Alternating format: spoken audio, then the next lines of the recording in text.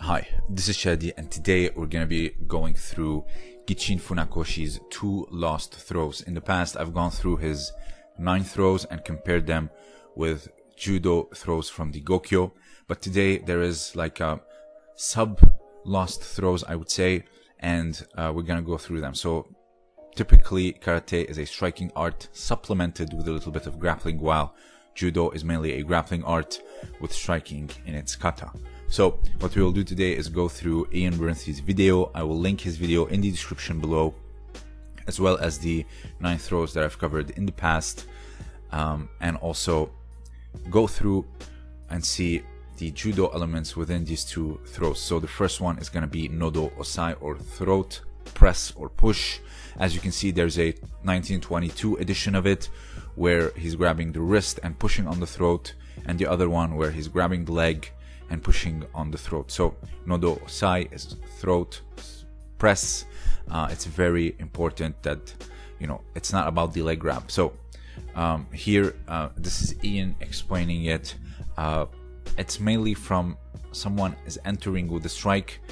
As you do this, so you press the throat or push it, and from there you proceed to take them down. So here he explains that you push the throat, uh, but for safety reasons, he will push the chest in uh, sparring, and from there he goes to pick up the leg. So this is the 1925 uh, variation. He picks the ankle, but this is not a ankle pick per se, but it's rather uh, an ouchigari with a leg grab like in the old days. So uh, notice the back step as he enters to reap uh, it's very judo like and it's very impressive by judo standards. So he's standing there to get close to the standing foot. He does a back step and from there he rotates because he explains that uh, Funakoshi in Karate Do Kyohan explains that you have to rotate as you are gripping the leg to get the takedown. So this is reminiscent of Ashidori Ouchigari.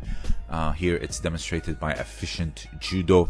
You can see uh, you grab the leg, you backstep, enter with Ouchigari and rotate uh, to get the takedown. So instead of pressing the throat, you are obviously going to have a uh, lapel grip, and also uh, throat pushing in judo is illegal. So he enters kind of like a teguruma feint, but finishes it with O Uchigari as he grips uh, the lapel and rotates. Um, the throat push, or it can be on the chin or anything, even though nodo means throat. It's very reminiscent of uh, Aikido's shomen ate, still practiced today in Shodokan Aikido or what we call Tomiki Aikido. Uh, sometimes the push on the chin or the throat is enough to get the takedown. No need for a leg grab, hence the 1922 uh, variation. So, um, shomen ate is again reminiscent of this nodo osae or press, but you know, aikido is more of a strike rather than a press. So the next one, I didn't find so much uh, judo resemblance to it, uh, but more of a iriminage style like aikido. So he steps on the foot, which is very crucial, and from there he steps between his legs and continues to push.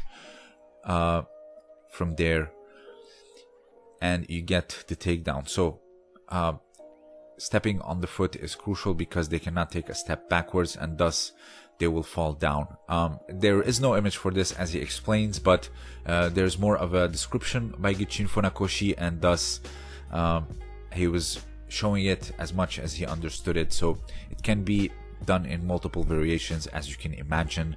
Uh, there's not much photos of it. So uh, in the description you will find his video and also the nine throws that I've done in the past uh, and also consider supporting me on Patreon.